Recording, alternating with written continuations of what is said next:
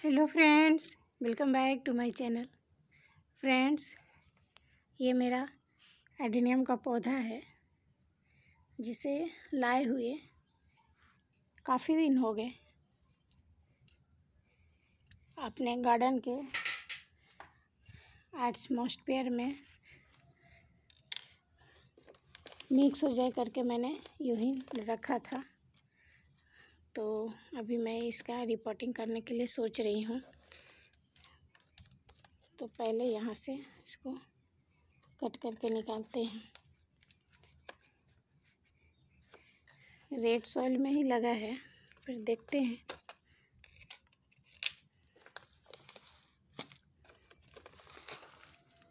इसकी कंडीशन कैसी है।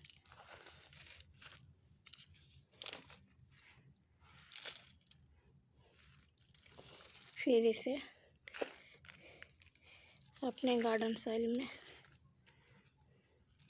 लगाएँगे। काफ़ी ज़्यादा मट्टी लगाए रखा है।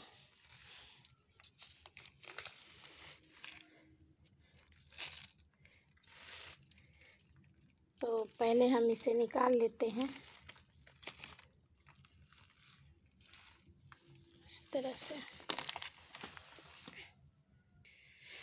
फ्रेंड्स, काफ़ी बड़ा प्लांट है।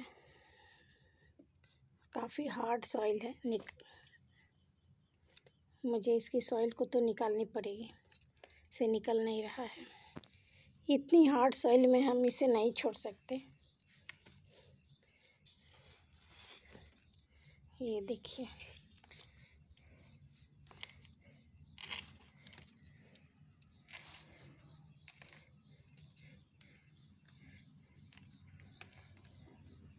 काफ़ी बड़ा कोडेक्स है फ्रेंड्स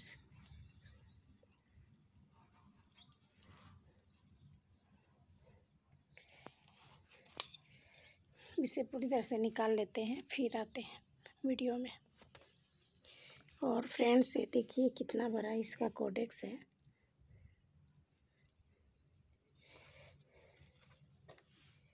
यहाँ लग गया.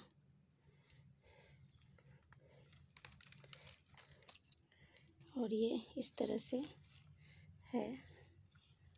इसमें सीड पॉट भी लगा है और फ्लावर्स भी आए हैं।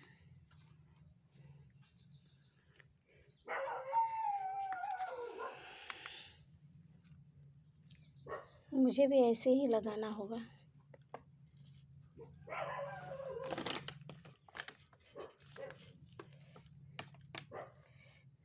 तो कोडेक्स तो निकल गया अभी मई इसे पानी में धो करके देखती हूँ। उसके बाद रिपोर्ट करेंगे।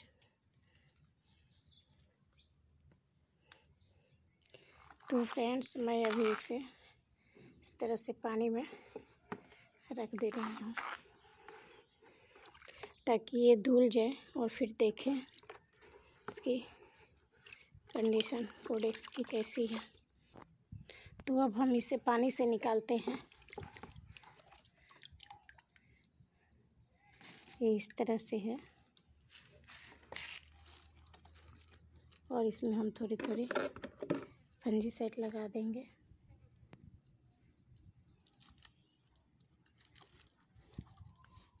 कोडेक्स को तो फ्रेंड्स, मैंने इसमें पूरी तरह से साफ़ का फंजी सेट लगा दिया है।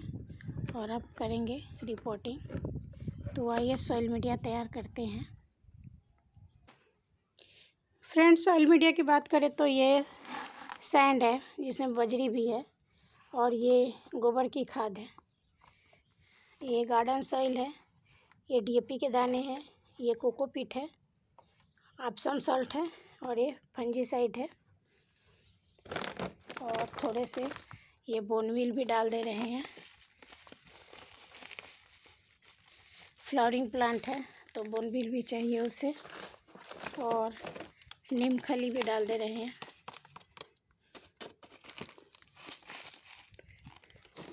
और फिर मिक्स करेंगे। और फ्रेंड्स थोड़ी सी मोटी वाली बजरी भी डाल दे रहे हैं। इस तरह से ये मोटी वाली बजरी है। अब फिर सबसे मिक्स करते हैं।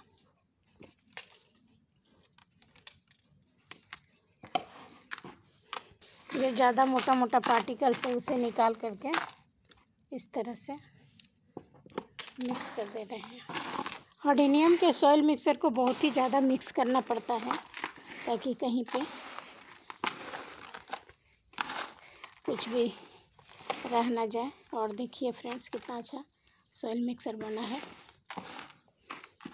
तो अब हम ये प्लांटर ले रही हूँ। ये काफ़ी बड़ी सी है। और उसके डैमेज के लिए मैं ईट के कुछ टुकड़े नीचे में।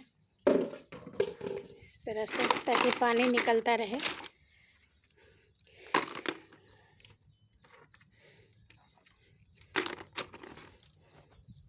और उसके ऊपर से थोड़े से रेत के मोटा वाला भी डाल दे रहे हैं।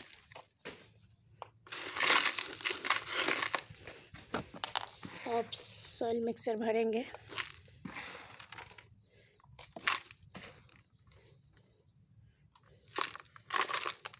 और फ्रेंड्स फिर उसके ऊपर इस तरह से इस एडेनियम को रख करके सॉइल मिक्सर भरेंगे तो थोड़ा मुश्किल होगा उठा के भरते हुए इस तरह से।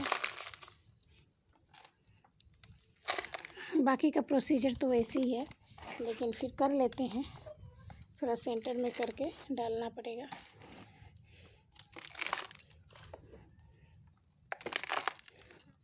इस तरह से। इस तरह से सॉइल मिक्सर भर देंगे।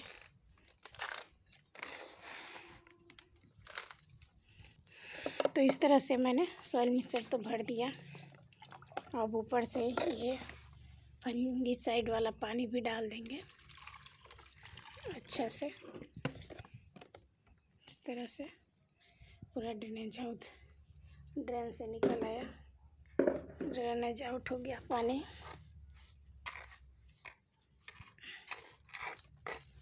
सब इधर से निकल रहा है। तो ओके बाय फ्रेंड्स अगर वीडियो अच्छी लगती है तो लाइक कमेंट कीजिएगा। और अगर मेरे चैनल पर नए हैं तो सब्सक्राइब करके बेल आइकन को दबा दीजिएगा। Okay, bye.